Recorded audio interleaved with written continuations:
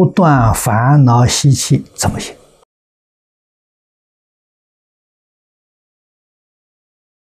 啊，净土讲的待业往生这一句话，我们也得要搞清楚、搞明白。啊，决定不能误会。哦，我烦恼习气不断，还也行。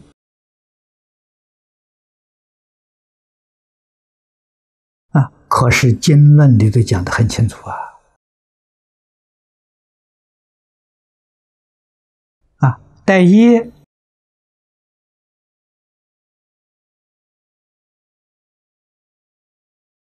只待业习，不待现行的。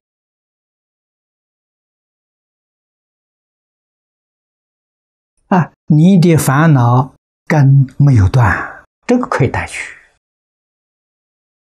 啊，现行不能带。啊，现行是发作了。啊，你的烦恼习气发作了，这个带不去的，这不可以的。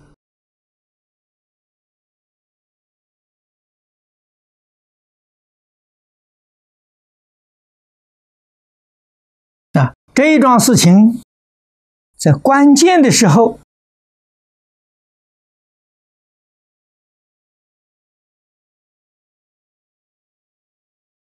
就是一个人在舍报的那一刹那，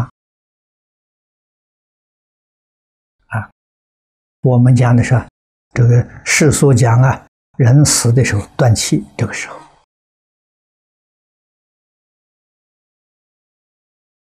这个时候，烦恼不起现行，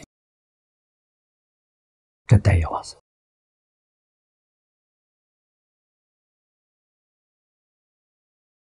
啊，所以待业往生真正意思是说这个。那么平常你起烦恼呢，可不可以呢？可以。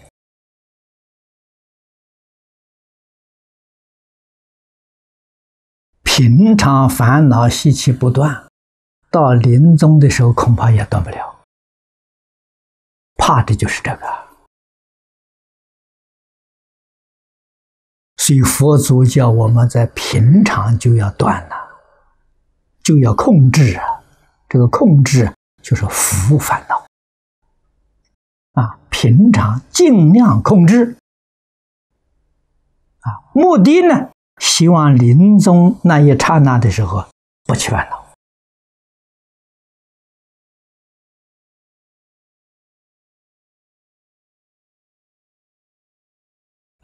最后这一刹那等于打仗啊，平常等于是训练了，练兵操练了。啊，操练不认真，打仗的时候决定失败，决定打败仗。所以操练要认真，平常我们要认真，尽量的控制自己烦恼习气，啊，不让它起现行，养成一个习惯，啊，到临终舍报的时候，烦恼不起现行，你。安安全全往生了，这个才叫有把握啊！平常不肯认真努力去做这个功夫啊，临命终时没有把握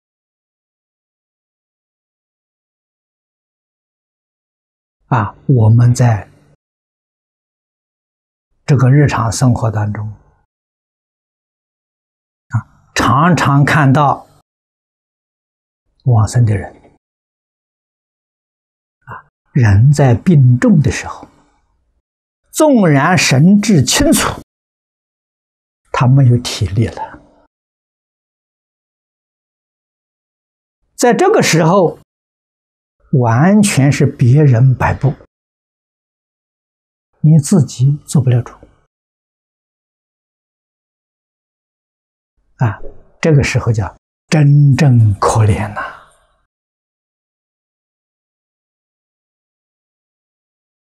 啊我们在医院看到那个病重的人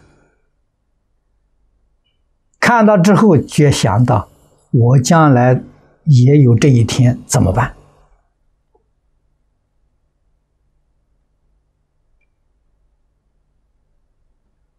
看到别人受这个折磨、受这个苦难，我们就要想到我会不会有这一天？太可怕了！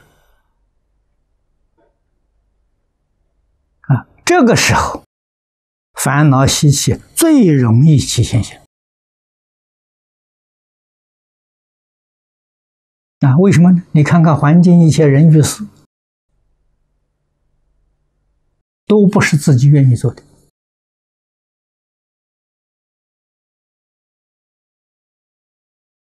啊，平素要没有相当修养功夫，你怎么能克服？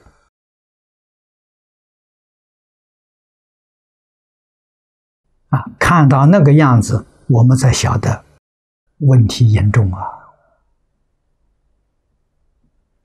啊，前途很恐怖哦。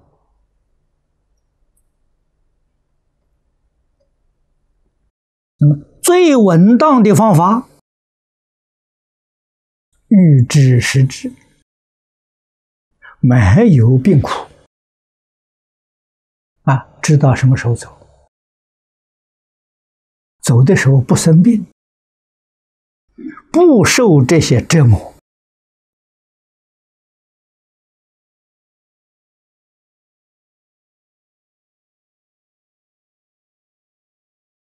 啊！人在病痛的时候，说实在话是，医生护士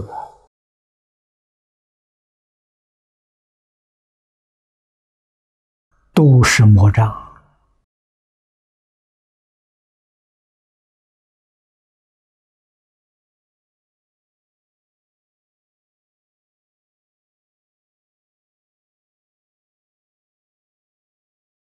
啊，韩馆长走的时候，住在医院最后那几天，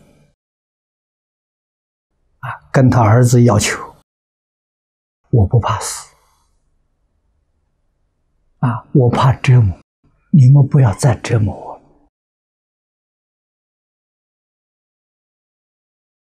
啊，什么折磨呢？一会打这个针，啊，身上插好多针管，折磨，太痛苦了。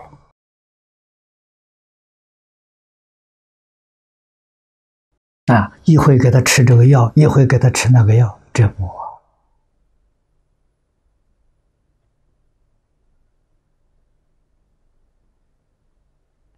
啊！所以这个时候，在你周边的人都是冤亲债主啊，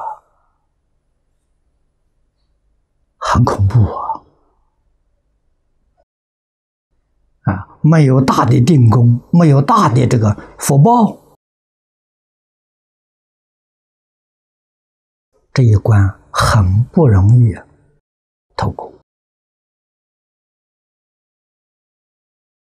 啊！所以馆长临终，我每天到医院去看他，我觉得他他对我现身说法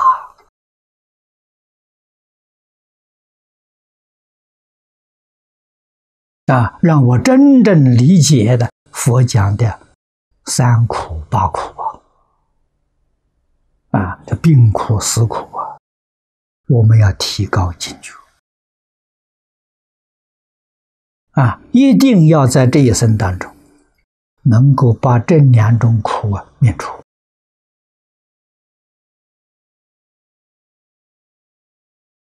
啊！可不可以做到呢？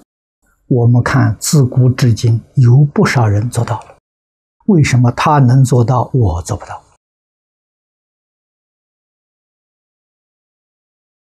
我从这里头就反省了把做不到的因素找出来把这个因素消除我也可以做到。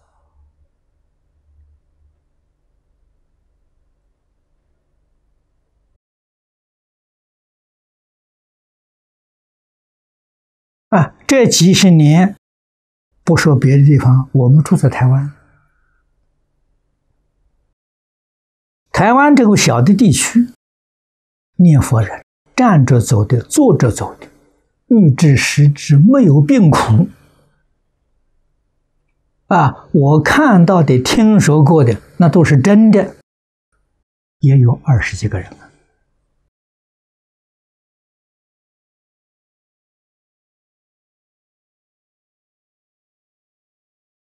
啊，那一般传说的呢，那就更多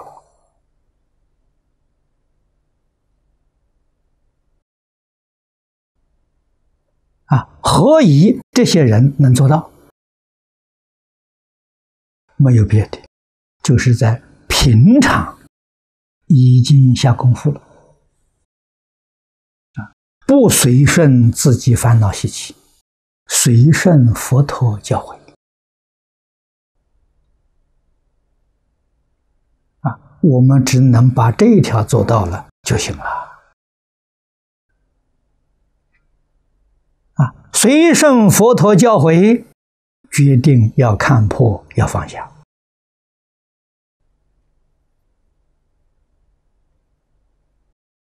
啊，看破放下，断恶修善，断恶是消灾，是消业障。啊，修善是积福，啊，积功累德，啊，再消了，临终障碍没有了，啊，福报现前了，临终走的瑞相就出生了。啊，世间事这是真的，其他都是假的。